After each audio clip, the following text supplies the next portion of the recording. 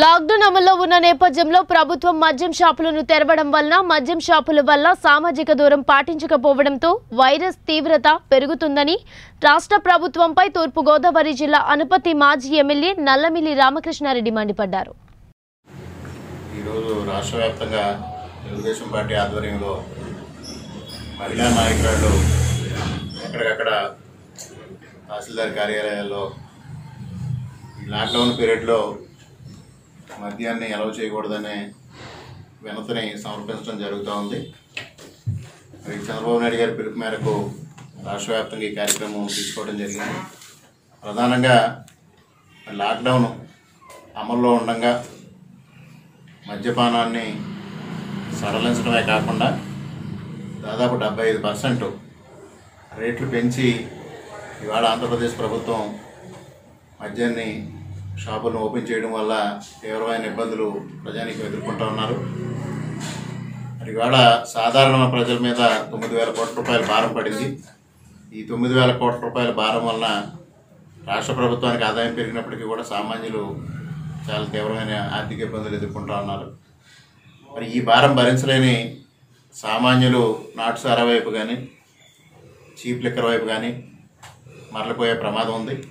దానివల్ల వారి ఆరోగ్యం దెబ్బతినే పరిస్థితి ఉంది. ఈ పరిస్థితిని దృష్టిలో ఉంచుకొని ప్రజల ప్రయోజనాన్ని కాపాడాలనే ఉద్దేశంతో ఇవాళ తెలుగుదేశం పార్టీ ఈ డిమాండ్ని మరి అధికారుల దృష్టికి తీసుకెళ్ళడం జరుగుతోంది. దీనిపైన రాష్ట్ర ప్రభుత్వం తక్షణమే స్పందించి తక్షణం మద్యం షాపుల్ని మూసివేయాల్సిందిగా మేము డిమాండ్ చేస్తూ ఉన్నాం. దక్షిణ భారతదేశంలో ఏ రాష్ట్రం కూడా మద్య నిషేధం సడలించలేదు. మొట్టమొదటిగా ఆంధ్రప్రదేశ్ ప్రభుత్వమే సడలించిన పరిస్థితిలో పక్క రాష్ట్రం తెలంగాణ కూడా అనివార్యమైన పరిస్థితి ఏర్పడింది. అది వాళ్ళు స్పష్టంగా కూడా అక్కడ ఎక్సైజ్ శాఖ మంత్రి గారు చెప్పడం జరిగింది. ఆంధ్రప్రదేశ్ రాష్ట్రంలో ఎప్పుడైతే మద్యం షాపులు ఓపెన్ చేశారో ఇక్కడ తప్పనిసరి పరిస్థితి ఏర్పడిందని అందువల్ల దీన్ని పునరాలోచన చేయాలి. మద్యం షాపుల్ని బంద్ చేయాలి. లాక్డౌన్ పీరియడ్ అవి పూర్తయ్యే వరకు. ఎందువల్లంటే అక్కడ భౌతిక దూరం పాటించిన పరిస్థితుల్లో కరోనా తీవ్రంగా వ్యాప్తి చెందే పరిస్థితులు ఉన్నాయి. ఇవల్ల దీన్ని పునరాలోచించి ఈ విషయం పైన ప్రభుత్వం తగిన నిర్ణయం తీసుకోవాలని మేము డిమాండ్ చేస్తూ ఉన్నాం. అదేవిధంగా నిన్న విశాఖపట్నంలో జరిగిన సంఘటన వెంకటాపురం అనే గ్రామంలో ఏదైతే ఎల్జీ పాలిమర్స్ అనే సంస్థ ఉందో ఆ సంస్థని మరి లాక్డౌన్ పీరియడ్లో లాక్డౌన్ అమల్లో ఉండగా ఆ పర్మిషన్ ఏ విధంగా ఇచ్చారు? దాన్ని తెరవడానికి ఎల్జీ పాలిమర్స్ రన్ చేయడానికి అనేది కూడా ఇవాళ ప్రభుత్వం స్పష్టం చేయాల్సిన అవసరం ఉంది. అత్యవసర వస్తు సేవల కింద కొన్ని పరిశ్రమలకు మాత్రమే కేంద్ర ప్రభుత్వం కూడా అనుమతి ఇచ్చింది. ఈ ఎల్జీ పాలిమర్ సంస్థ ప్రధానంగా ప్లాస్టిక్ మెటీరియల్స్ తయారు చేసే సంస్థ. మరి వాళ్ళ ప్లాస్టిక్ మెటీరియల్స్కి ఏమి అర్జెన్సీ ఉన్న పరిస్థితి కాదు. అటువంటిది ఇవాళ దానికి పర్మిషన్ ఏ విధంగా ఇచ్చారనేది కూడా ప్రభుత్వం స్పష్టం చేయాల్సిన అవసరం ఉంది.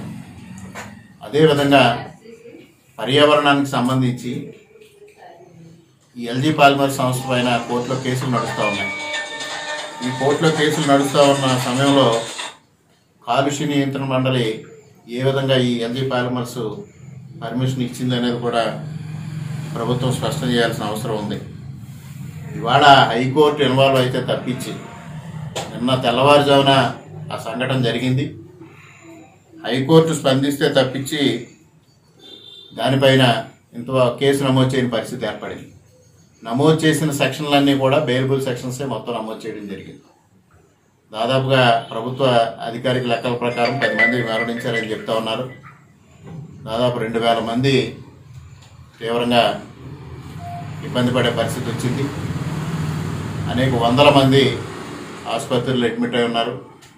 ఇవాళ కుటుంబాలు చిన్నాభిన్నమైన పరిస్థితి. ఇంత దారుణం జరిగిన తర్వాత దానికి కారణమైన ఈ ఎల్జీ పాలిమర్ సంస్థ పైన అన్ని బెయిలబుల్ కేసులతో ఎందుకు ఇవాళ ప్రభుత్వం ఆ విధంగా కేసులు నమోదు చేయాల్సి వచ్చింది అనేది కూడా స్పష్టం చేయాల్సిన అవసరం ఉంది. అసలు బాధితులతో పరామర్శ చేయకుండానే ముఖ్యమంత్రి గారు మొట్టమొదటిగా ఎయిర్పోర్ట్లో ఎల్జీ సంస్థ ప్రతినిధులతో సమావేశం కావడం జరిగింది. ఇది దేనికి సంకేతం ఇవ్వబోతా ఉన్నారు. అదేవిధంగా ముఖ్యమంత్రి గారు ఎల్జీ పాలిమర్ సంస్థని క్లోజ్ చేయిస్తామనే మాట కూడా ఎక్కడా మాట్లాడలా.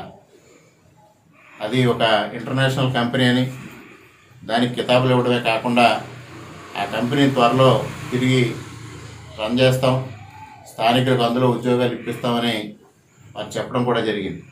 మరి గతంలో మనకి భోపాల్ లాంటి సంఘటనలు మన కళ్ళ ముందు కనిపిస్తూ ఉన్నా కూడా ఎల్జీ పాలిమర్ సంస్థ మీద ఎందువలన ముఖ్యమంత్రి గారు ఆ విధమైన ప్రేమ కనపరుస్తూ ఉన్నారని కూడా స్పష్టం చేయాల్సిన అవసరం ఉంది.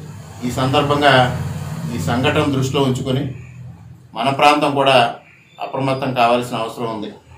ఇప్పుడు ఆ గ్రాసిమ్ ఇండస్ట్రీస్ ఏదైతే ఉందో గతంలో కేపీఆర్ ఇండస్ట్రీస్ ఇప్పుడు గ్రాసిమ్ ఇండస్ట్రీస్. ఈ గ్రాసిమ్ ఇండస్ట్రీస్ శరవేగంగా నిర్మాణం చేసుకుంటూ ఉంది. అది జగన్మోహన్ రెడ్డి గారు గొర్రెల మావిడాల్లో పాదయాత్ర సందర్భంగా మేము అధికారంలోకి వచ్చినట్టయితే ఇక్కడ ఈ సంస్థని సముద్ర తీర ప్రాంతానికి తరలిస్తాం. జనావాసాల మధ్య వద్దు అని వారు స్పష్టమైన హామీ ఇవ్వడం జరిగింది. కానీ జగన్మోహన్ రెడ్డి గారి ప్రభుత్వం అధికారంలోకి వచ్చిన తర్వాత అది శరవేగంగా నిర్మాణం సాగుతూ ఉంది. ఇటువంటి పరిస్థితుల్లో ఇక్కడ జరిగిన ఎల్జీ పాలిమర్స్కి ఏదైతే ప్రమాదం జరిగిందో ఒకవేళ ఇక్కడ కానీ ఈ గ్రాసిమ్ ఇండస్ట్రీస్లో జరిగే సల్ఫ్యూరిక్ యాసిడ్ కానీ ఇతర రసాయనాలు కానీ ఇటువంటి పరిస్థితి ఉత్పన్నమైతే ఇంతకన్నా తీవ్రంగా ప్రాణ నష్టం జరిగే పరిస్థితి కానీ ప్రజల ఆరోగ్యం పరిరక్షణ విషయంలో కానీ చాలా తీవ్రమైన ప్రమాదాలు ఏర్పడే పరిస్థితి ఉంది.